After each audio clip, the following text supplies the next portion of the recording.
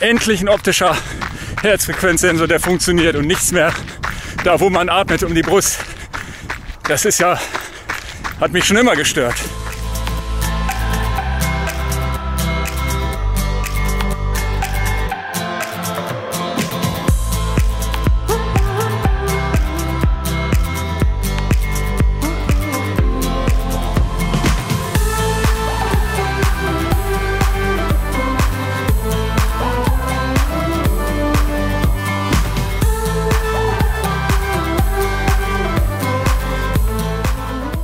Ja, fast 30 Grad im Schatten hier heute und in der Sonne noch ein bisschen mehr.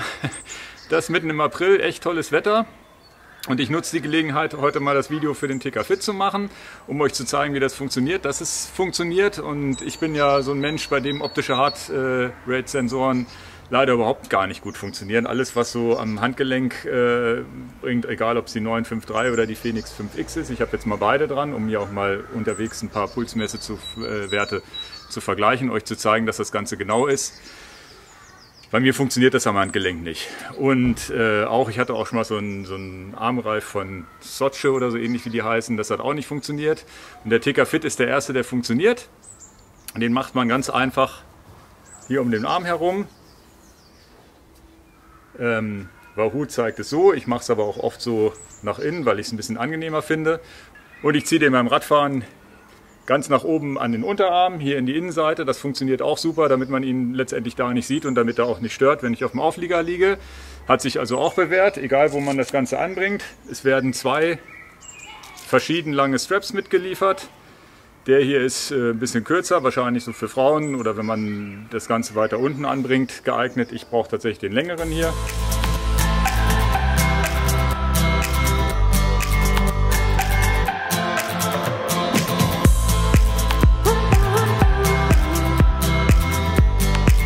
Gerne könnt ihr auch mal in meinen Strava-Account gucken, wo ich äh, die letzten, wie gesagt, die letzten zwei, drei Monate, alles was ich gemacht habe, war mit dem Ticker Fit. Und ihr seht, dass es keine nennenswerten Abweichungen von der Herzfrequenz war. Da ist so ein Brustgurt, ich laufe jetzt parallel mit so einem Brustgurt, der ja eigentlich genauer ist ähm, und natürlich auch schneller in der Reaktionsfähigkeit. Das ist auch gegenüber dem Ticker Fit äh, wahrscheinlich der Fall. Aber beim Laufen zum Beispiel habe ich das Problem im Winter, wenn ich nicht richtig warm bin, so die ersten ein, zwei, drei Minuten funktioniert der nicht richtig. Zeigt der komische Werte an, weil ich halt noch nicht schwitze. Der braucht ja immer ein bisschen Feuchtigkeit. Außerdem war ich noch nie ein Freund von diesem Brustgurt. Ich habe es zwar immer gemacht, weil ich nach Puls trainieren wollte, aber eigentlich ist das nicht, nicht so cool. Was ich halt super finde, dass der Ticker Fit ewig hält. Der hat eine 30-stündige Batterielaufzeit, das heißt, ich lade den einmal auf in der Woche oder alle zwei Wochen und lasse das einfach laufen. Also ich bin auch noch nie irgendwie, dass die Batterie leer war. Und das ist hier so ein kleiner Magnet, mit dem man das aufladen kann. Jetzt fürs Laufen werde ich das Ganze hier am Unterarm tragen. Gerade beim Laufen würde das hier oben nicht so schön sein, das würde mich stören. Ja, und dann schaltet man das Ganze an. Dann blinkt er hier blau und in dem Augenblick weiß ich auch, dass das Signal übertragen wird. Wichtig ist, nie zu fest anziehen, sonst schnürt man sich ab. Und dann werde ich jetzt mal loslaufen und versuchen unterwegs auch noch ein paar Aufnahmen äh, mit den vergleichbaren Werten zu machen.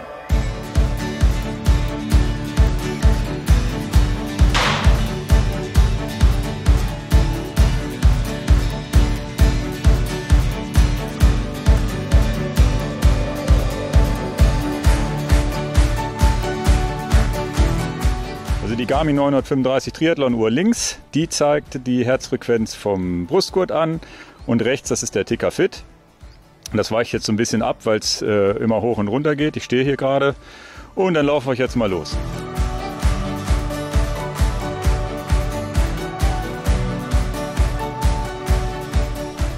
Viel zu warm.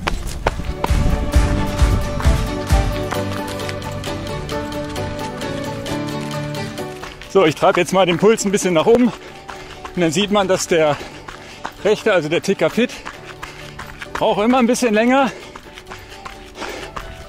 Das ist normal beim optischen Herzfrequenzsensor, aber nach 5 bis 10 Sekunden ist er auch da, wo der Brustgurt ist. Also alles gar kein Problem.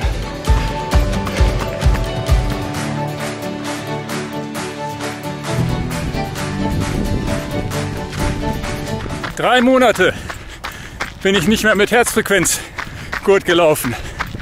Ihr glaubt gar nicht, wie mich das nervt, das Ding. Wenn man das erstmal sich abgewöhnt hat. Also für mich ist der Ticker Fit echt ein Geschenk des Himmels. Endlich ein optischer Herzfrequenzsensor, der funktioniert und nichts mehr da, wo man atmet, um die Brust. Das ist ja, hat mich schon immer gestört. Kleinen Intervall, um den Puls ein bisschen nach oben zu treiben und versucht das zwischendurch auch ein bisschen zu filmen. So, 150er Puls ungefähr. Muss ich noch mal ein bisschen Gas geben. Ende des Intervalls. 162er Puls auf beiden Geräten. Funktioniert, funktioniert echt super. Überall die Obstblüte hier. Echt schön.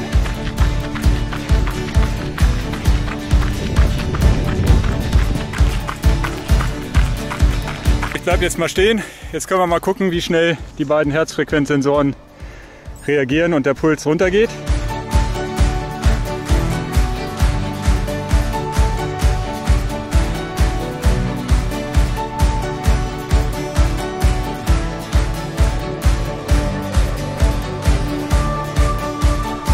Haben beide ein bisschen Reaktionszeit.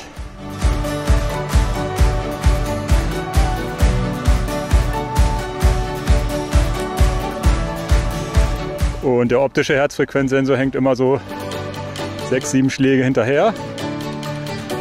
Was aber für optisch echt gut ist. Hier gleicht er wieder aus. Also man sieht, der ist auch relativ äh, schnell in der Reaktionszeit. Das ist echt super. Dann mal los bemerkenswert ist, dass der Ticker Fit auch jetzt bei der Hitze und der Sonneneinstrahlung funktioniert. Aber man muss ja bedenken, das ist ein optischer Herzfrequenzsensor, der eine LED mit einer LED auf die Haut leuchtet, um dann die Kapillaren zu sehen mit einer Kamera. Und das bei dem hellen Licht hier heute, bei der Sonneneinstrahlung, funktioniert einwandfrei.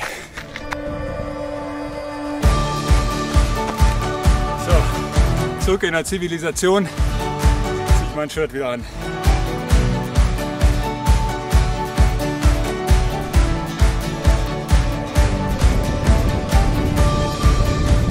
So, ich bin wieder zurück und bin froh, wenn ich das Ding hier wieder los bin. Ja, drei Monate nicht damit gelaufen. Es war echt ungewohnt. Will ich nie wieder haben. Im Triathlon-Wettkampf, da weiß ich noch nicht, wie das hier funktioniert, ob das im Wasser dran bleibt. Das muss ich tatsächlich noch mal testen. Ich würde es vielleicht am Oberarm befestigen, damit man es hinterher auf der Radfahrt auch äh, oben hat.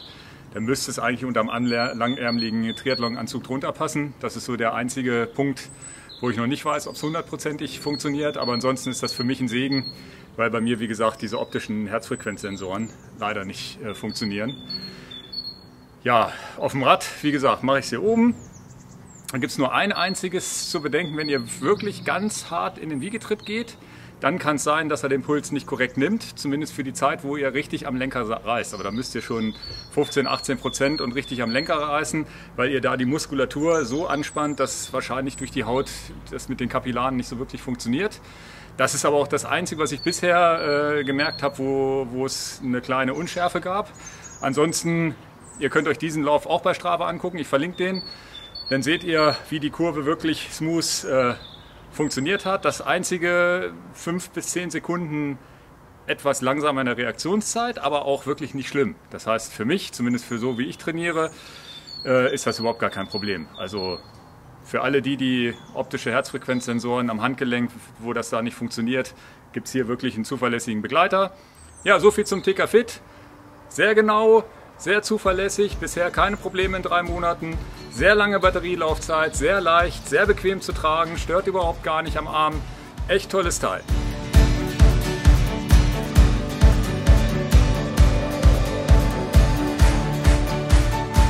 Echt super Ideen.